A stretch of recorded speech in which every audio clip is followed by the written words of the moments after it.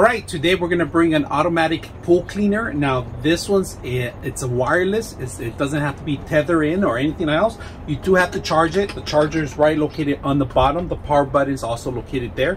It comes with a lot of accessories, including the actual manual, how to install it, how to set it up. Now it's very simple. Uh, to charge it, you are gonna have to plug it in underneath into a wall plug, all right? A wall socket, right? And when you plug it in, you cannot flip this over. It has to stay front, all right? Now we're gonna go ahead and set this up, the rest of the stuff in here. First of all, we're gonna set these up. And this is the handle that goes in here and then you have to screw in the actual screws through it, right? The handles to go hold it. Now, the accessories that they give you is uh, this is to grab it with your pole. If you have a pole, like a net or anything to fish out, you can fish it out, hook it up, and pick it up, right? Now, they do give you the actual bottom scrapers, and these are actual silicone ended and silicone ends right here. So it's going to be scraping the bottom. And we're going to take a look at our old one too. And our old one's actually done. I have an Intex, and it's not powered. It's it's powered by, by air pretty much right so we're gonna replace it with this we're gonna take a look at it and we're gonna set this up and let's go ahead and put it together all right we're gonna set so we're gonna set a scraper it's very simple on the bottom. All you got to do is slip it in the middle here in the center. There's a little hole and that's one lock in and automatically so these move up and down scraping the whole thing. Uh, wheels go different ways different directions. They manure anything they hit it goes the opposite way. It goes right now. We're to try to swivel it see how much it goes through it. Um, of course there's a couple things you got to know about this thing right? So let's go ahead and open it up because you have to clean it up too. And to clean it up i'm to show you all right, once you use it, the simple way to clean it up, if you guys can see, it, it detaches from every single part of it here. All right, it's the same thing like the Intex that I have. It, it just opens up and you just open this top up and there's the cleaner that you have to clean all the filter. You got to make sure all the uh, remove all the the scrubs and anything that you have in there dirt bugs anything that you have in there. Make sure that you clean it out because um, it has to be see-through get a water hose.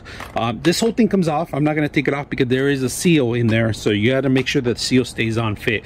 So we're gonna put it together right now and start using it. So let's go ahead and do that all right let's take out the old one and i'm going to show you a little difference between the old one. This is our Intex all right?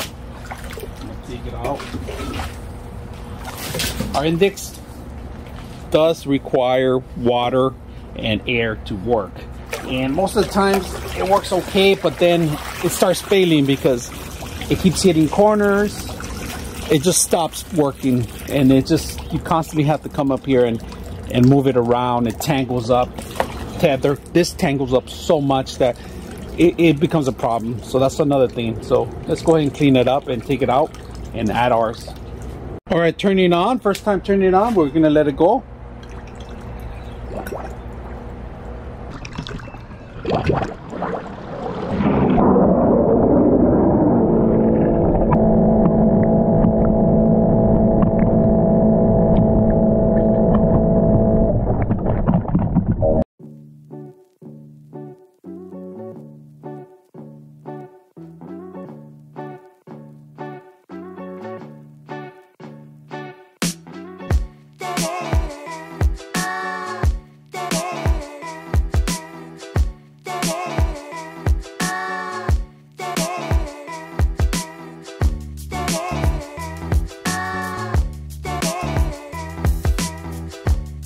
Uh, all right so we're gonna actually add the attachment to it all right? We're gonna retrieve the system and let me make sure it's in there properly crock it there it is.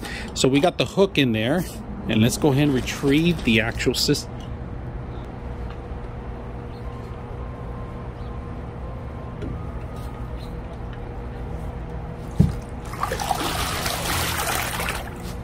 far I'm very impressed with the system. If you guys notice it's been moving.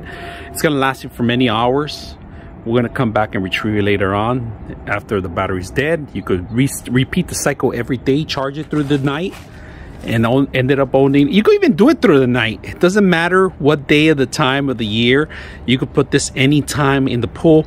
It'll constantly be running. Weather's not an issue because it's on water.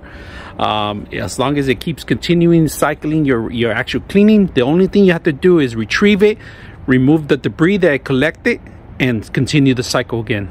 Very simple easy to install. I hope you guys enjoy the video.